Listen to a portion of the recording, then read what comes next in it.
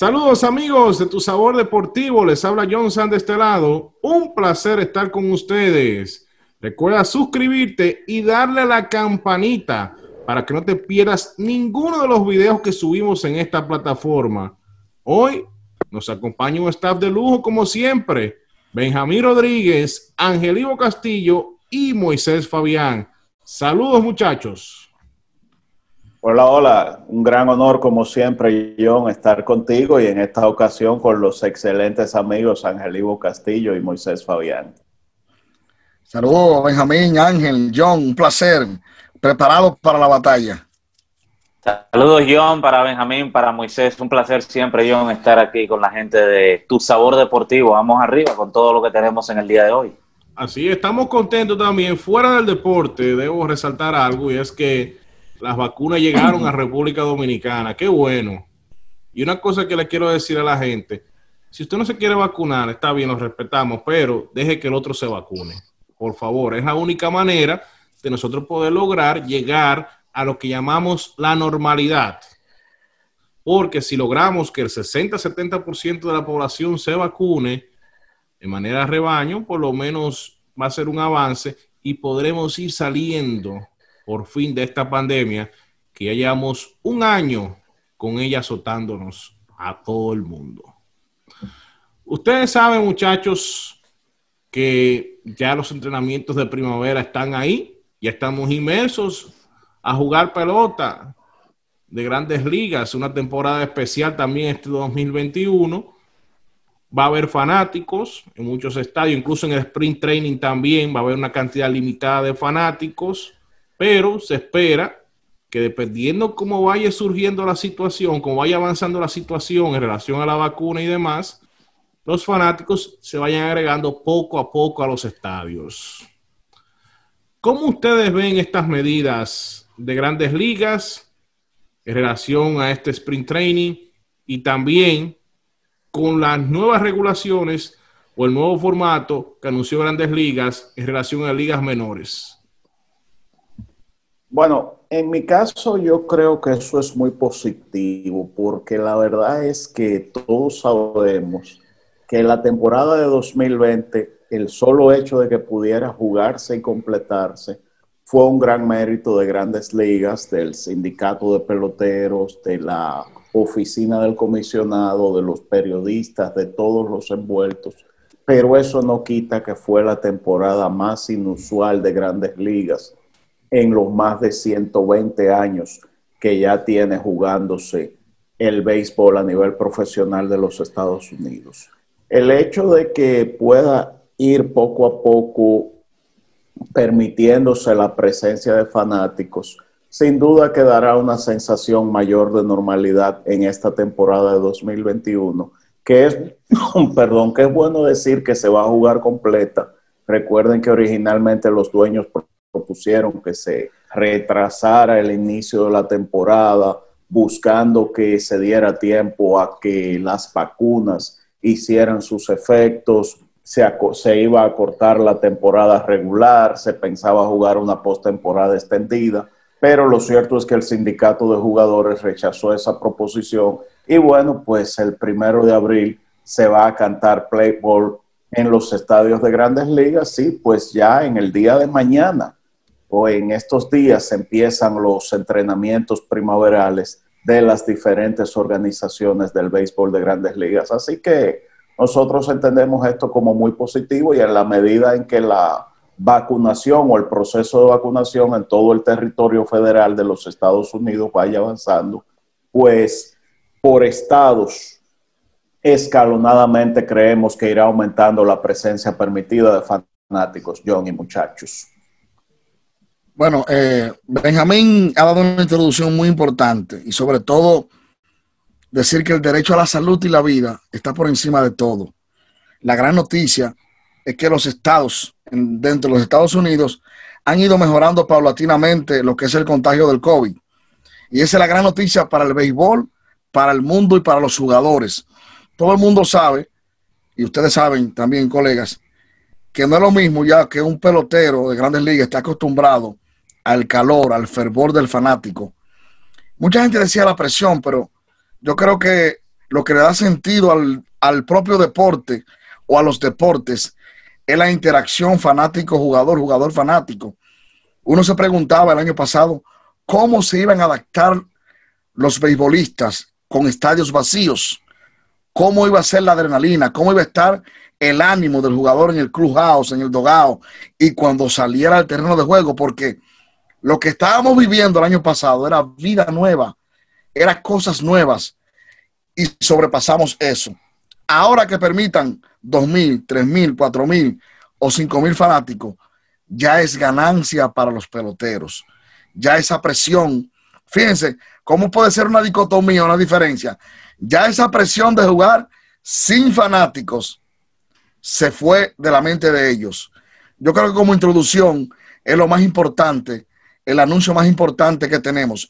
Y ya para más adelante, para que pase Ángel, yo quiero hablar de las ligas menores, de lo que yo le he puesto, peloteros de invernaderos, que es lo que quieren las grandes ligas.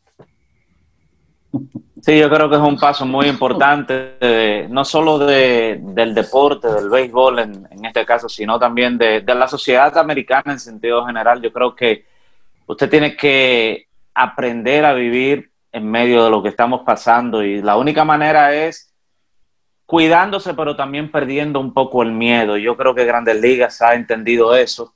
Eh, estos inicios de entrenamientos son un poco diferentes, todos lo sabemos. Es, es un año en donde todavía hay algunos puntos que no están muy claros, como el asunto del bateador designado en la Liga Nacional y, otras cosas más. Pero eh, basándonos en lo de los fanáticos en los estadios, yo creo que si ya hay una vacuna, si se toman todas las medidas de precaución, si el, el ciudadano de los Estados Unidos que por lo tradicional respeta las reglas, sigue esas reglas y el protocolo, creo que estaremos bien y a medida que vaya avanzando la, temporada y a medida que se vayan vacunando los, eh, eh, las personas eh, en este país, creo que vamos a tener un mayor número de fanáticos en los estadios ya para la segunda parte de la temporada.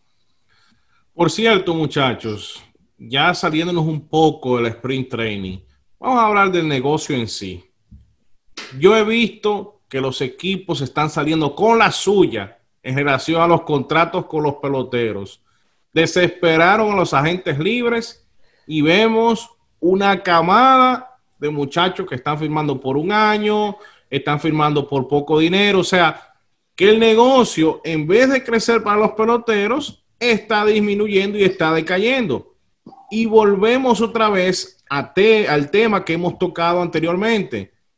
Después de 2021, el pacto colectivo. Insisto con eso porque lo que estamos viendo ahora mismo es que los equipos se están aprovechando de la pandemia para dar esos tipos de contratos. Ahí vemos el caso, un ejemplo de Yadier Molina, que firmó por un año. El, el, tipo quería dos años, pero al final tuvo que firmar por un año con el equipo de los Cardenales de San Luis y un sinnúmero de peloteros más que merecerían más años. Incluso vemos ahí el caso de Jackie Bradley Jr., que todavía no ha firmado hasta ahora. El hombre tiene una expectativa de cuatro años. Sabemos que eso va a ser imposible ahora mismo con este mercado. Pero ¿qué opinión le merece que los equipos estén saliendo con la suya? Mira, yo creo que tiene mucho que ver con el ambiente, vamos a llamarle, prebélico o preguerra que se avecina entre dueños de equipos y jugadores de grandes ligas. Es decir, tú mismo acabas de, de, señalar que el 31 de diciembre próximo expira el convenio colectivo entre grandes ligas y los jugadores y por lo tanto eso va a conducir a una negociación bien áspera que podría terminar en una huelga de jugadores porque hay muchísimos aspectos del negocio en el que evidentemente jugadores y dueños no están de acuerdo y eso tiene mucho que ver, por ejemplo, con la posibilidad para muchísimos equipos de hacer lo que se llama tanking, es decir, de perder a propósito para lograr mejores selecciones de draft, equipos que están descartados desde un primer momento para no invertir. y toda una serie de cosas. Incluso debo decirte que yo en días pasados estuve hablando mucho con Domingo Ramos, exjugador del béisbol de las grandes ligas y de los azucareros del este, principalmente aquí en la Liga Dominicana. Y él me decía que uno de los objetivos que los dueños quieren lograr es que los jugadores en promedio duren menos tiempo en grandes ligas para no tener que pagarle mucho dinero, para pagarle menos dinero. Entonces, en todo eso hay una guerra, hay toda una dinámica que dicho sea de paso, existe en la relación, vamos a decir, patronal y laboral de béisbol de grandes ligas, desde que a principios de la década de los 70 se produjo la primera huelga de jugadores en el año 1972 y desde que Marvin Miller principalmente pues eh, se convirtió en el líder del sindicato de peloteros de grandes ligas. Lo que quiero decir con esto es que estamos viendo las escaramuzas de lo que será una gran guerra. Incluso Ángel Ivo mencionaba que no está muy claro si habrá designado en ambas ligas.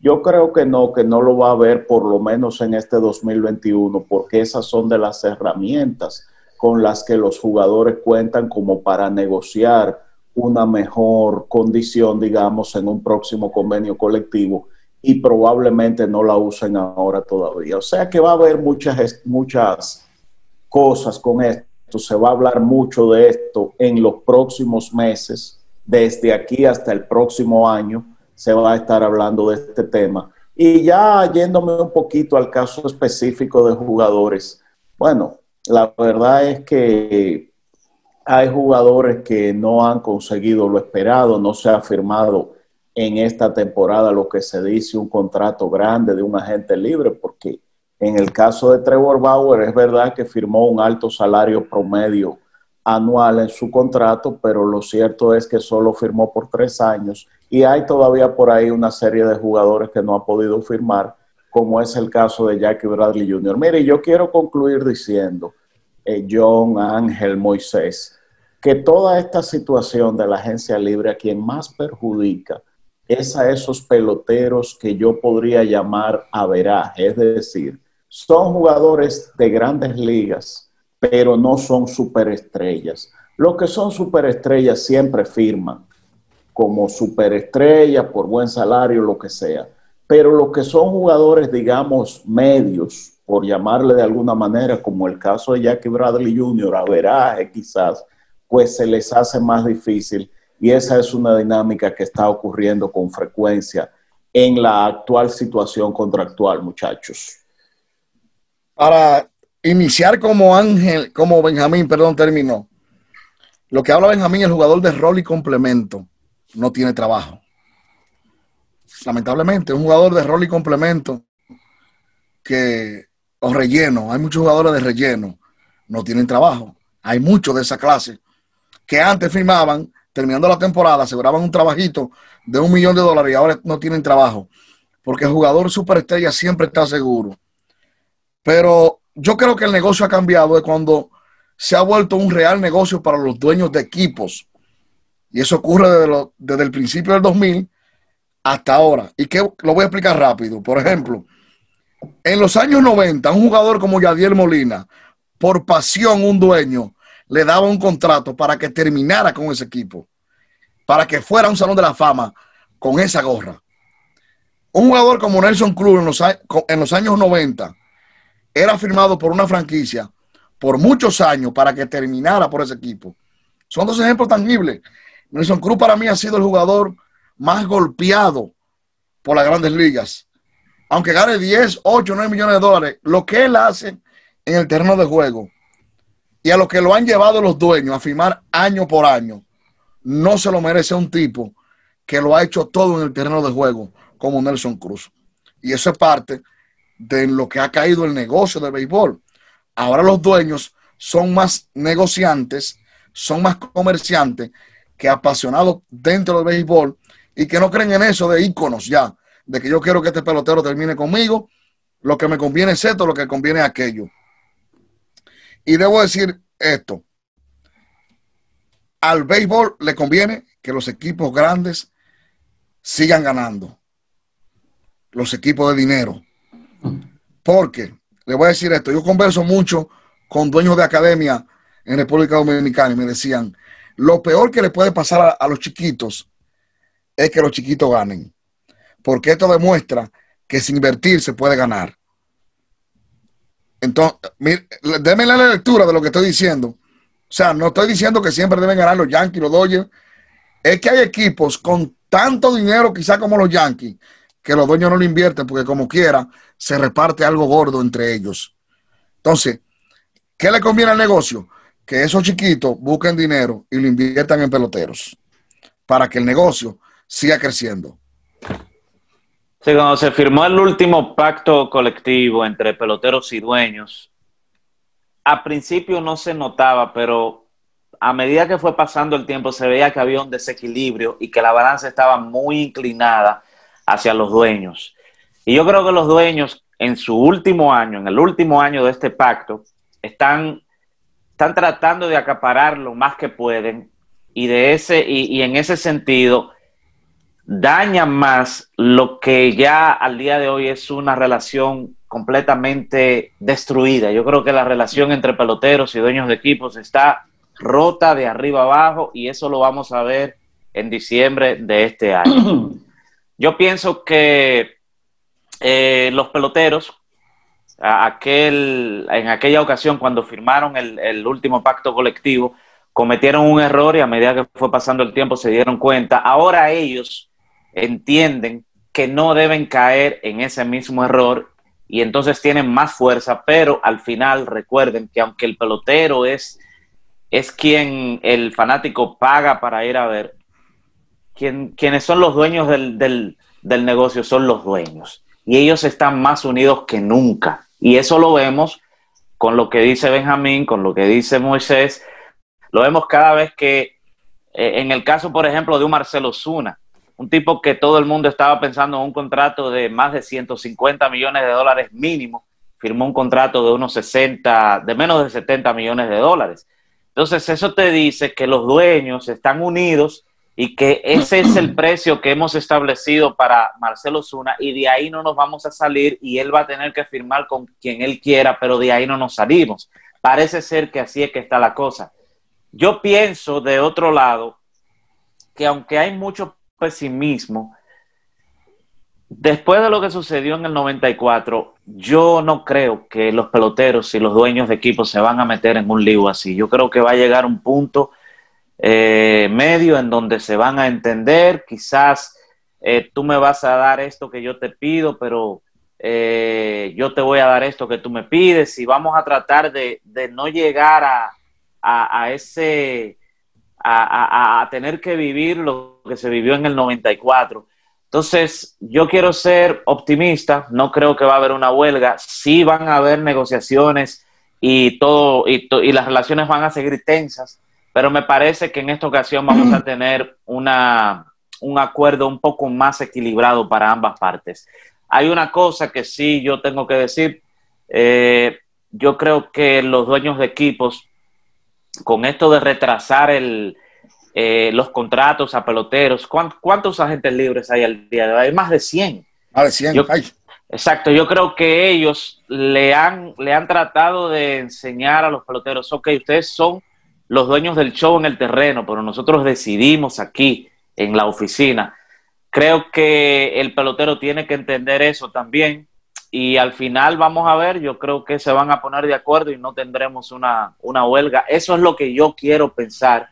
No estoy diciendo que va a ser fácil, pero tampoco pienso que después de lo que pasó en el 94, ellos van a volver a, a, a ponerse tan tercos ambas partes. Miren muchachos, yo estuve leyendo un artículo que escribió el colega y amigo Enrique Rojas para ESPN. Me llamó mucho la atención eso y quise compartirlo con ustedes. Y es el caso de Albert Pujols. Pujols termina su contrato ahora en este 2021. Para un servidor, ha sido el mejor bateador derecho latino de todos los tiempos. Oigan bien, no completo, mejor bateador derecho latino de todos los tiempos, Albert Pujols, están los números ahí, más de 600 honrones, más de 2.000 remolcadas, un promedio que estaba en 300, pero los últimos años ha ido decayendo por propio de, su edad. Pujols el año pasado, en septiembre, perdió su puesto de regular.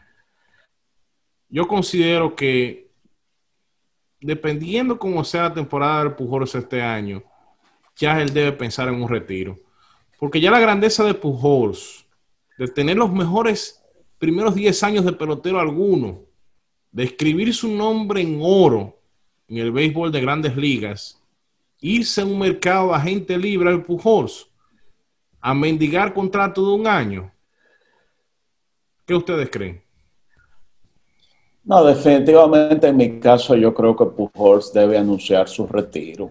Sencillamente lo más que puede pasar es que firme un contrato como lo han firmado algunos por un día o dos quizás para retirarse con la gorra y la camiseta de los Cardenales de San Luis, ciudad en la que él tuvo su, aquellos primeros 10 años famosos que tú mencionaste, ciudad en la que todavía él vive, según tenemos entendido, en que ganó tres veces el premio de jugador más valioso, ganó el novato del año, ganó en dos ocasiones el guante de oro por su defensa en la primera base, ganó un sinnúmero de bates de plata, etcétera, etcétera, ganó dos series mundiales y muchísimos logros más.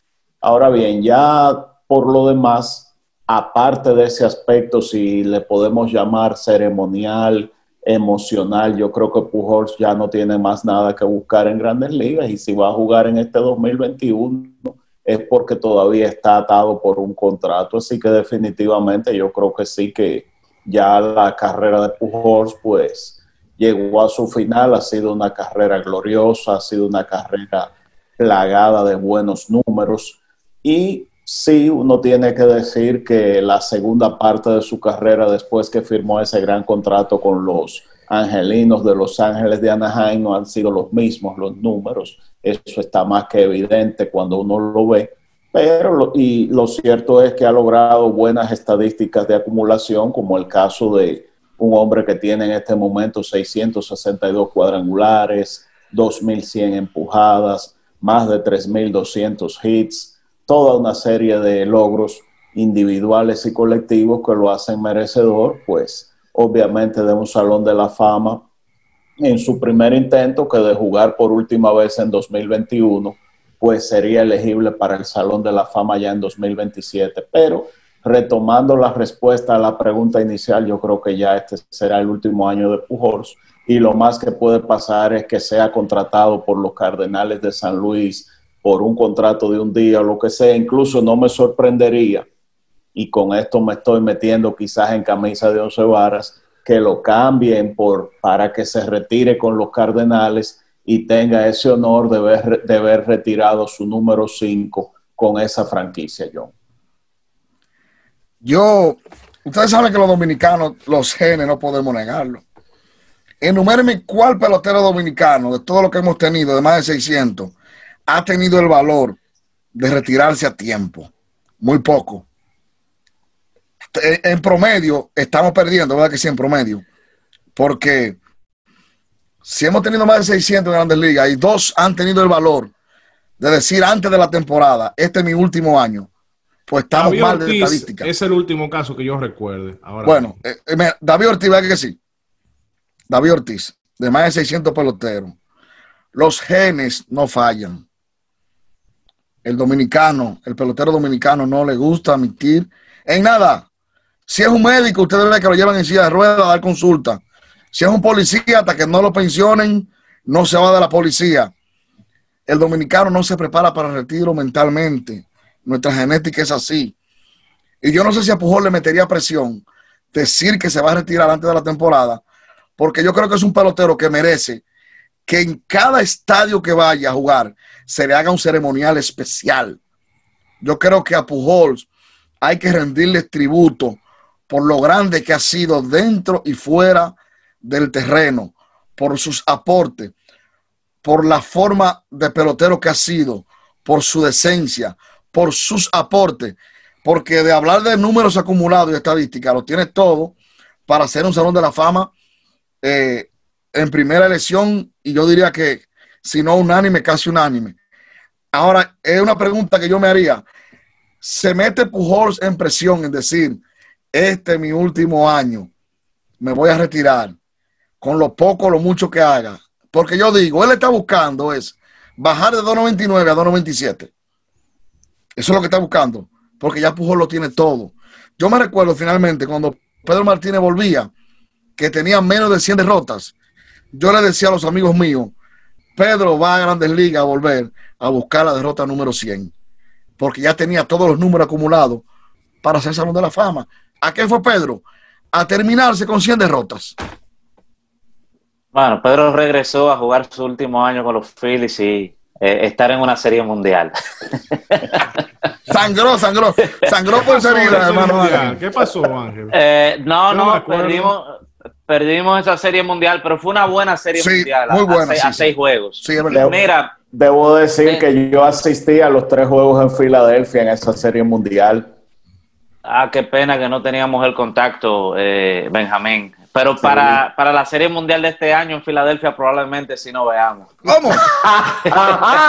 bueno, mira, mira eh, Moisés mencionaba algo hace un ratito sobre que los dueños como que quieren que los peloteros se retiren un poco más temprano, o sea, que no lleguen a los 40 años de edad. En los años 90 era era fácil uno ver una buena cantidad de peloteros de 40 años o más. Hoy en día no es así. Yo creo que Albert Pujols es una de, uno de esos ejemplos que usted puede usar de por qué los dueños y este nuevo béisbol con la sabermetría, las analíticas, ha, ha demostrado que de los 36, 37 años en adelante, un muy alto porcentaje de peloteros, ya lo que habían dado, lo que, lo que le quedaba o lo que les queda es muy, pero muy poca cosa. Entonces, eh, los contratos, de alguna manera, en los últimos años, yo no sé si ustedes han notado que se han ido como, como haciendo de una forma en que los últimos años del contrato al pelotero se le pague menos dinero, que la gran cantidad de dinero se le pague en los primeros años, precisamente por lo que está pasando con Albert Pujols, por lo que está pasando con Miguel Cabrera y lo que ha pasado con otros grandes peloteros que ya con 38, 39, 40 años de edad, los equipos le están pagando 25, 30 millones de dólares, cuando ya todos sabemos que ellos no pueden justificar ese dinero por su edad, porque sus porque ya su cuerpo no le permite hacer lo que le hacía, lo que ellos hacían cuando tenían 20, 25 años de edad. Entonces, creo que está pasando con Pujols. Yo creo que el equipo de los angelinos sabía que eso iba a pasar. Pujols sabía que eso iba a pasar. Quizás con él se adelantó un poquito más por los problemas de lesiones que llegaron antes de lo que, de lo que él mismo lo pensaba. Y yo no sé, a veces uno piensa en que el pelotero debe retirarse porque eh, su producción no es la misma pero uno no sabe realmente lo que está en la cabeza del pelotero. Yo me atrevería a decir que lo, mismo que ustedes han dicho, él no tiene más nada que probar. Eh, de algún, de otro lado, pienso que le faltan 38 honrones para llegar a los 700. Quién sabe si él estaría dispuesto a buscar eso en uno o dos años, aunque, aunque su promedio de bateo eh, se aleja de los 300 más. Se aleja de los 300 más. No sé, quizás él tiene eso en su cabeza, pero lo cierto es que, que todos eh, sabemos, y yo creo que Albert Pujols ha pensado en el retiro. Creo que si todos sabemos que ya él tiene que, ir, eh, él tiene que ir viendo ya su, su vida post-béisbol, porque el 2021 probablemente sea lo último de Albert Pujols. No, escúchame, tú sabes que Pujols de los peloteros y no, con eso no estoy diciendo nada malo, ¿eh? que se decide todo en la mesa de su hogar. O sea, lo que sí, sí, sí. No, porque eh, en, la, tradición machista que tenemos, de, regionalista del Caribe, de que los machos son machos, Pujol de los, de los tipos que todo se decide con su esposa, con su familia en la mesa. Es un tipo cristiano. Miren, hay otro caso que yo quiero tratar con ustedes. Darwin Lugo, el año pasado, estaba con los Tigres de Detroit, un pelotero de 25 años o menos. No lo firmaron y de repente veo que el hombre se va para México. Y así veo muchos peloteros con esa edad o menos que se van para Asia y se van para México. Entonces, veo que las grandes ligas, como estábamos hablando ahorita, se están situando en un sitial prácticamente exclusivo, cerrando más el camino a esos muchachos jóvenes. ¿Qué está pasando con ese tipo de peloteros, Benjamín? Que vemos que tienen una proyección como Lugo y de repente deciden irse a México y no quieren seguir intentando quizás irse a ligas menores buscando que lo vuelvan a subir a grandes ligas. Mira, ahí hay algo que dijo hace un rato Moisés que yo quiero retomar, siguiendo la dinámica de algo que a su vez yo había dicho. Él usó la palabra de que no hay o que está cada vez más difícil para los jugadores, digamos, de reparto, de relleno, conseguir un contrato en el béisbol de las grandes ligas. Y la verdad es que eso es así cada vez más. Por ejemplo, en el caso de Lugo, Lugo es ante todo un jugador suplente. Él lo más que llegó a tomar en los tres años que tuvo con Detroit fue unos menos de 300 apariciones al plato, menos de 300 turnos. O sea, no fue nunca un jugador regular en esos tres años. Entonces ya está cayendo en una edad de 25 años. El mismo pelotero mentalmente piensa, bueno, la edad útil de un pelotero ahora mismo, fácilmente por lo mismo que estamos hablando, algo que mencionó Ángel Ivo en el comentario anterior a propósito de Pujols, ya tú cada vez ves menos peloteros entre los 35 y los 40 años jugando pelota, a menos que tengan un contrato grande que se lo permita. Por ejemplo, Pujols ahora mismo está jugando porque tiene un contrato hasta 2021 Miguel Cabrera está jugando porque tiene asegurado un contrato, me parece que hasta 2024. Y así podría mencionar muchísimos casos más. El mismo Robinson Cano, ya con 38 años. Entonces, ¿qué pasa? Que esos peloteros llega un momento en que dicen, bueno, ya yo tengo 25 años, yo en la pelota tengo que buscar mi futuro. Yo no busco nada en ligas menores, eh, con equipos de grandes ligas. Por ejemplo, esos contratos de liga menor con invitación a campo de entrenamiento. Yo no busco nada ahí. Por ejemplo, el caso más emblemático de eso fue este muchacho que acabó en Corea, eh, que fue jugador más valioso y todo. ¿Cómo se llama? Mel Rojas. Mel Rojas. Mel Rojas, sí, que acabó, fue más valioso en Corea, pero entonces no pudo conseguir en grandes ligas un contrato garantizado porque todo lo que le ofrecían era contrato de liga menor con invitación al campo de entrenamiento. Entonces el muchacho dijo, no, yo voy a coger Micheles, hablando en sentido figurado, lógicamente, yo voy a coger Micheles en Japón porque eso están garantizados y cogió un buen dinero, no como el salario que pudiera ganar en grandes ligas, pero algo que, que represente un buen ingreso.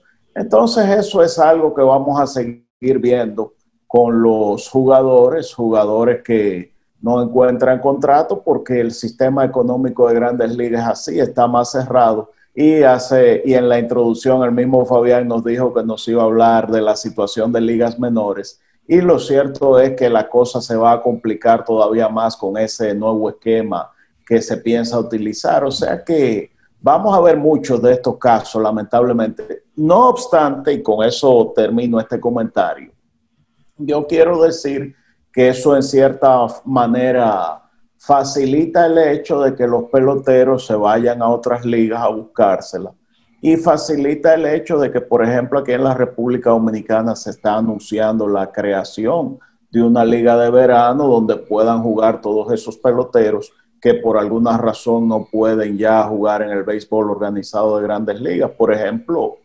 está el caso, están buscando crear ligas. Creo que en estos días, John, este, este muchacho Antonio Puesán nos hablaba de eso, que por ejemplo, si un pelotero aquí en la República Dominicana en el verano puede ganarse un salario, digamos, de 5 mil dólares mensuales, no tiene por qué irse a ganar 8 mil para México, porque la diferencia de los 3 mil la compensa el hecho de que está en su país con su familia y así muchísimas cosas. De todas maneras, vamos a ver cómo esto sigue evolucionando, pero lo cierto es que auguro que será cada vez más difícil para esos jugadores de relleno y reparto, para hacer mía una expresión de Moisés Fabián, pues conseguir sus trabajos en grandes ligas. Mirando yo, porque quería saber de dónde viene Lugo. Lugo es eh, original de Toronto, los azulejos de Toronto. Y estuvo en varios equipos en Arizona y luego de Arizona pasó a Detroit. ¿Por qué, por qué hurgué un poco en eso? Porque yo me preguntaba, un tipo que lo cuidaba tanto, Detroit, que lo veneraba tanto, que los liceístas estaban incómodos con ese muchacho, porque ese muchacho era una parafernaria increíble para ir a la práctica solamente con Licey. Yo tengo una experiencia hace dos años. Yo estaba en el Estadio Cibao, en la cueva de, del Licey, esperando a mi compadre, mi Roger, para entregarle algo. Y cuando ese muchacho iba a salir a las prácticas, hubo que quitarse todo el mundo con dos guardaespaldas, sacarlo a, a coger rolling a tercera. Créanme, señores. Y yo hoy me río, no me burlo, ¿eh? Me estoy sonriendo porque como tú tratas tu negocio, como tú tratas tu profesión, así la profesión te va a tratar luego a ti. Y yo quiero darle un mensaje también a los muchachos jóvenes que ven, que ven esto, que sean más proactivos ellos mismos con su carrera y que no dependan tanto de lo que diga mi organización. Porque al día de hoy, él no era un pelotero franquicia de Detroit. Detroit lo dejó como sin ton ni son. Y debo decir, para corregir una, una expresión de John, la gente no se va para Japón. Japón busca el pelotero. La gente se va para México cuando no tiene más opción. Japón va a Dominicana con sus scouts a darle millones a los peloteros dominicanos. Corea va a Dominicana a darle millones a los peloteros dominicanos. A México los peloteros dominicanos llaman cuando tienen la última opción o el último suspiro de su carrera. O sea, no es lo mismo cuando tú dices, eh, vamos a poner un ejemplo, Esteban Germán se fue para Japón en un momento a ganar 6 millones por temporada. Héctor Luna se fue para Japón a ganar 3 millones. Mayo, 4 millones. Mel ahora a ganar 5 por dos años. Eh, y un símbolo de peloteros que se han ido a Japón a ganar millones de dólares por no buscar lo que decía nuestro amigo Benjamín, un chance de jugar grandes ligas, que fue lo único que le ofrecieron a, a Mel Roja, a ver si hace el equipo. Y si no hace el equipo a AAA, a ganar 18 mil dólares mensual. Imagínense usted, usted dejar dos millones y medio de una temporada de dólares para usted aventurar y cumplir un sueño de usted ser pelotero de grandes ligas. Y quiero eh, finalizar con esto diciendo, porque me da pena, me da pena que jóvenes con ese talento, porque es un talentazo ese muchacho, el que, ve, el que ve ese muchacho parado en una esquina, sabe que es pelotero, por el swing que tiene, por la presentación. Ahora, hay que ver si su caja torácica completa está tan completa hasta el cerebro de que un muchacho a esa edad, aún el béisbol, esté buscando hacer pelotero de incubadora, yo creo que ese muchacho todavía tenía talento para jugar béisbol de grandes ligas. Nos toca investigar si fuera del terreno de juego el reporte no es tan bueno que ninguna organización, a un tercera base, bateador designado, le ofreció ni siquiera por lo menos invitación a campo de grandes ligas. Porque yo no creo que él, con lo que enseñó, con lo tan protegido que fue ante el Licey, que es la cuerda que tienen los liceístas hoy en las redes. Yo quiero que ustedes vean todos los insultos que han dado ese muchacho, los liceístas. Es la cuerda de los liceístas. Entonces, un tipo que hace un año lo cuidaban como una niña, dos años, no es verdad que va a dejar de ser interesante para 29 equipos de un año a otro. Algo anda mal con ese muchacho y no es jugando tercera ni bateando. Yo dejo esa, yo dejo ese interrogante. ¿Qué será? Sí, como eh, Benjamín hablaba sobre el nuevo esquema de Liga Menor en los Estados Unidos y yo creo que por esa razón vamos a ver más casos como el de Lugo. Yo creo que los equipos, y esto es algo que yo también lo había pensado durante años, yo creo que el proceso de preparar un pelotero, un muchacho joven, sin experiencia de béisbol profesional, ese proceso de llevarlo a las grandes ligas era muy largo y los equipos de grandes ligas creo que han entendido eso. Creo que han entendido que ya no necesitan tanto tiempo para desarrollar a estos muchachos y cuando ellos ven que esos muchachos se estancan, prefieren dejarlos libres. Yo estoy de acuerdo con lo que dice Moisés. Eh, tiene que haber algo que no sabemos porque es que el muchacho tiene un talento, tiene un físico, tiene una estampa que usted dice, ¿cómo puede ser que, ok, Detroit lo deje libre, pero 29 equipos que restan no le dan ni siquiera un contrato de liga menor con invitación a los entrenamientos? Pero es algo que va a suceder más. Vamos a acostumbrarnos porque con este nuevo esquema de Liga Menor, vamos a ver muchos peloteros de ese tipo que se van a quedar sin trabajo y van a tener que ir a otras ligas a, buscar el sustento de sus familias. Me da mucha pena con Lugo, yo creo que a veces eh, este tipo de, de golpe, así lo voy a llamar, puede despertar algo en él. Quizás descuidó un poco su carrera, nadie sabe si esto ahora lo haga retomar y entender que no es una cosa solo de, del, talento físico, sino también de, tener muy buena cabeza. Y, ojalá que esto le haga tomar un segundo aire y, este año en México le ayude y luego regrese al béisbol organizado en los Estados Unidos, porque, repito, el, la estampa de este muchacho es de grandes ligas. Claro, eso no quiere decir que va a ser grandes ligas, pero sí llama mucho la atención que ningún equipo le haya ofrecido por lo menos un contrato de liga menor. Eh, yo te voy a decir algo, Ángel, ahí mismo. Este muchacho no se ha acabado. Él puede ser un producto muy bueno a mitad de temporada. Si ese muchacho da unos 13 honrones rápido en, México, podría estar contratando con, en Liga Menor cualquier equipo, como backup para un equipo de grandes ligas. O sea, está en él, en su mente, en cómo él asume este reto ahora. Porque es que yo no, en mi, en mi haber beisbolístico, a mí no me, no, no es que no ha pasado. Si tú te acuerdas, Abraham Núñez de las Estrellas, el grandote tenía mejor físico que este, nunca cuajó. Pero este sí pasó el proceso de Liga Menores, llegó a Grandes Ligas, se vio que bateaba, era tercera base. Bueno, ¿qué pasó con este muchacho? Bueno, tú no te y tú no vas a traer la respuesta a nosotros porque tú aquí no quieres hablar. Tú como que sabes algo fuera del terreno y no nos quieres decir. Sin embargo, yo voy a decir algo brevemente ahí, Moisés, sobre todo a Moisés.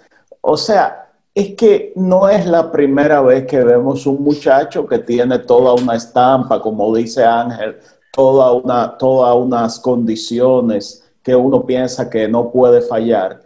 Y entonces eso no se ve traducido en logros en el terreno de juego. Eso ha pasado muchísimas veces. Y ahí debemos recordar quizás una estadística un poco de la que seguramente el propio Moisés tiene más exactitud que yo, pero hay, es bueno recordar que de 100 peloteros que firman, las academias, los, eh, las universidades allá, en las universidades allá en Estados Unidos, a grandes ligas si acaso llegan 5 o 7, o sea, un porcentaje bajísimo. Eso Está poniendo mucho, Benjamín. Uno, uno. exacto. Richard, o sea, Richard Jiménez, cabo de Cincinnati, dice que la estadística es dos. Bueno, pues está bajando. La cuestión es que yo estoy diciendo unos números que mencionaba Rafael Ávila hace unos años, eh, hace más de 20 ya. La estadística está bajando quizás por esto que estamos diciendo, pero la, la, la idea aquí es que hay, de cada 100 hay más de 90 que se quedan en el camino. Y en el caso específico de Lugo, bueno, él llegó aquí con grandes expectativas a los Tigres del Licey, con excepción del primer año ese en el que batió 300. Pues lo cierto es que el muchacho tampoco es que ha hecho la gran cosa con el Licey. Bueno, ahí vendrán las especulaciones sobre qué pudo haber influido en ese muchacho o si es uno de esos, uno más de esos que existen todas las expectativas y a la hora de la verdad no se ven realizadas en el terreno de juego, muchachos. Yo ah, tengo un, yo, tengo un, rapidito, yo tengo una lista hmm. de peloteros que no la voy a revelar.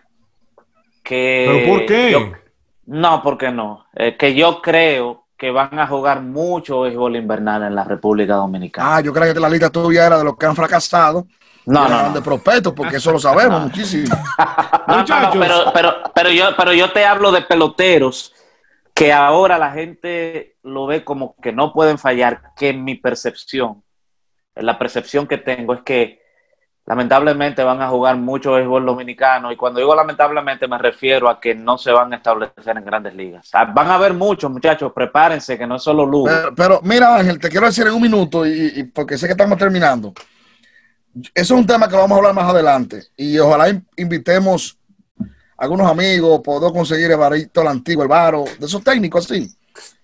Yo no creo que la incubadora en el béisbol funcione, como en la NBA y, y en la NFL.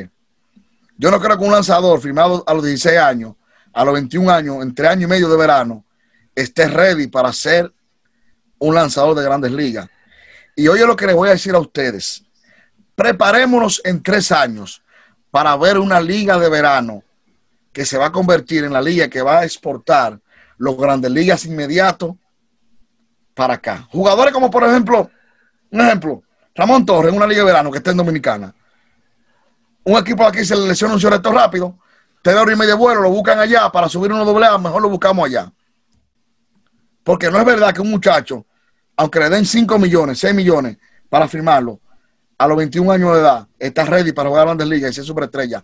Los que hay son muy pocos, pero el común, que son el jugador de complemento, son jugadores que batean 260, dan 15 honrones y empujan 40 carreras. O sea, la incubadora que Grandería quiere hacer, eliminando clase- eh, las rookie leagues, que ya la eliminó, la clase A corta, que ya la eliminó, no es lo mismo que la NBA y que la NFL. Así es. Mira, ya llegamos a la parte final del programa, pero en otra ocasión vamos a tratar un poquito más desmenuzado ese tema, porque la verdad que es un tema un poquito grande, de mucho análisis. Pero Ángel que diga dos nombres, que sea, con dos nombres No, yo me no, no, conformo, mira, mira, yo, diga. yo le voy a proponer algo a Ángel Castillo y es, vamos a despedir ya este segmento en el canal de YouTube y ya después que nosotros terminemos, Ángel Castillo va a dar una breve explicación catedrática, No, no. técnica, Benjamín, filosófica. dile a Ángel que diga dos nombres, por lo menos dos. él me va a dar una explicación, espérate Moisés, filosófica, Déjalo ahí. catedrática y técnica de lo que es el teteo, el molineo y a ver si Yomel Meloso y la perversa, qué es lo que pasa. Así que ya lo saben, gracias. Este es tu sabor deportivo YouTube.